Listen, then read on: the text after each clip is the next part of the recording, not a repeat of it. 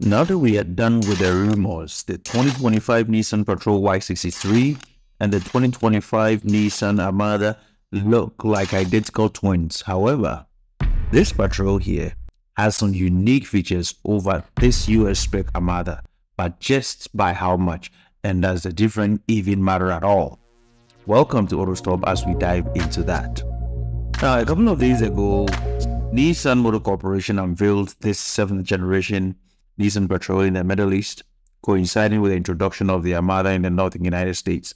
If you happen to be in the market outside these two regions, markets where you can either have the Patrol or the Armada, what should be their go-to choice, especially when the two nameplates are basically the same models.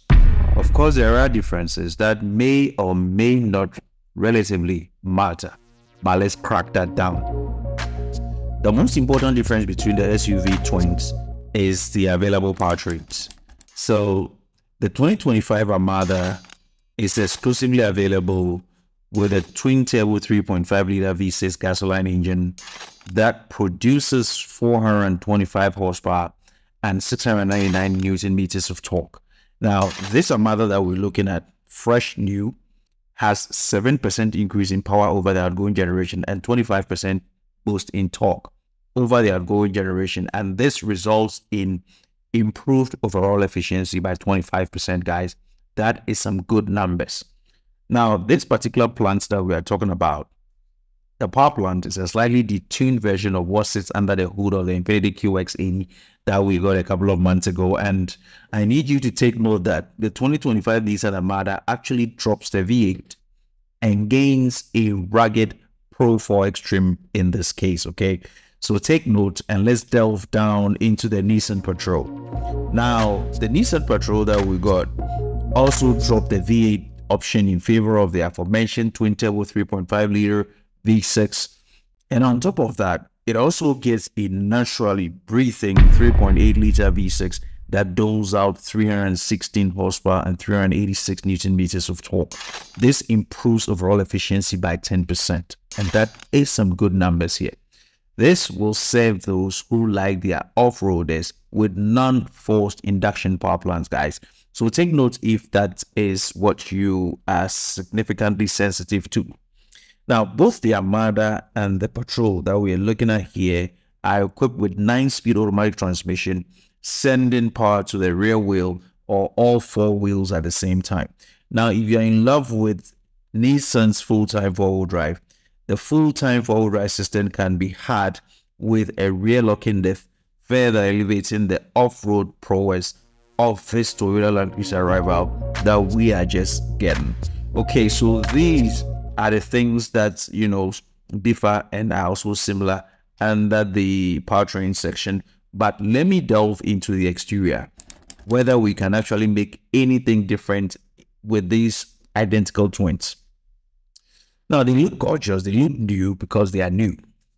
Now, visually, your way of telling these two SUVs apart is by just one single indicator, and that is the yellow indicators of the Armada, which is actually mandatory in the Northern America to have on these vehicles. Now, the rest of the styling cues are identical, including the available 22-inch wheels and the color palettes are also basically the same in this case. But what I want you to take note is that the Nissan Armada is actually available in a rugged Pro 4 Extreme. You've seen this one? Yes, it's jacked up, is off-road ready and ready for everything you throw you throw at it off-road. And this comes with a slightly redesigned body kit and all of the available off-road goodies here. Now, chances are that the Patrol will get a similar trim in the future, possibly adopting a different name and if the previous generation, you know, of the patrols are anything to go by, we are also expecting a Nismo branded version of the patrol with a host of performance focused modifications sometime in the future that we do not know. Stay tuned because we will update once those information become available. But then once we have touched on exterior, I think the next logical thing to go to is interior. So let's look at the interior. And we can briefly say that the Patrol is more premium in this case. You can argue it out, but that's what we feel. Let me touch on the, in the inside. Both the Nissan Patrol and the Armada here benefit from a host of technology and luxury features here. And they both get closer to the more premium Infiniti QX. I think you do agree here. Now, Nissan hasn't detailed the entire lineup of the Patrol. Uh, we now know that in the Middle East, we are getting the 3.8 liter version and then the 3.5 liter version. So the 3.8 liter version, we are getting these trims, the XE trim, the SET2 trim, we're getting the SE titanium, and then the SE platinum C. So you can tell for yourself with that presentation here. And then on the 3.5 liter version, we are getting the LET1. We're also getting the LET2. We're getting the LE titanium. We're getting the LE titanium plus, and finally the LE platinum C. So these are the um, trims that we are going to get with this, and we're going to do a side by side comparison of this in the future when the details become available. We also are expecting special editions such as the Safari, the Desert Edition, and then the Nismo editions. We do know that the Y63 models appear to be better equipped than the Armada in this case. And I'm sure if you have any contrasting ideas, you can actually put in the comment section. I would gladly like to know.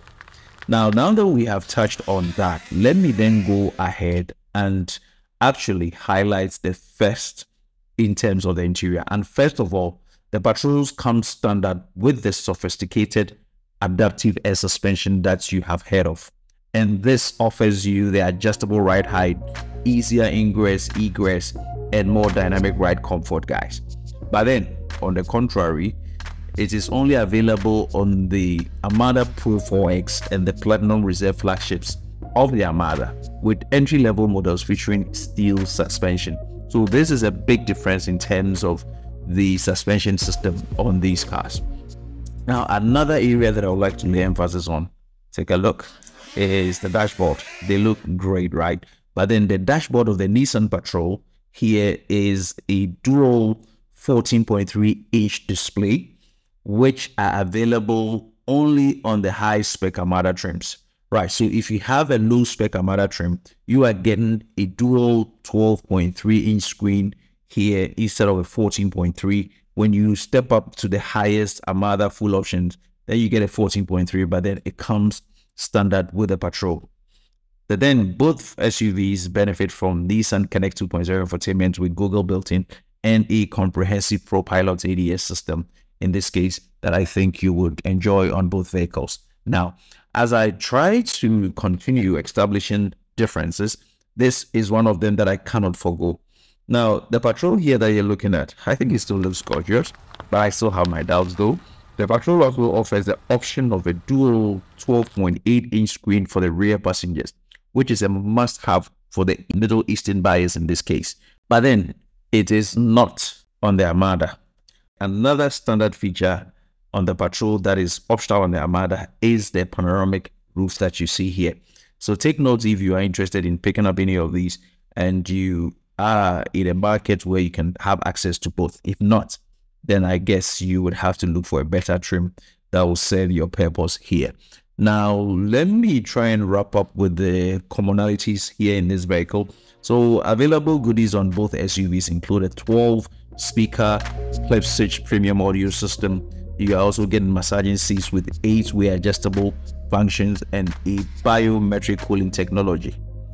Now, the latter, this biometric technology actually utilizes infrared sensors to scan the body temperature of the first and second row passengers, making the best out of the climate control in this case, which I believe is a smart way of um, improving your climate controls in this vehicle. But let me finally wrap up with the differences in the availability periods of these vehicles. Of course, there are differences there too. So let me begin with the Nissan Patrol that is going to be available in the UAE, Saudi Arabia, and other Middle Eastern markets, including Africa, starting from November 1st, 2024.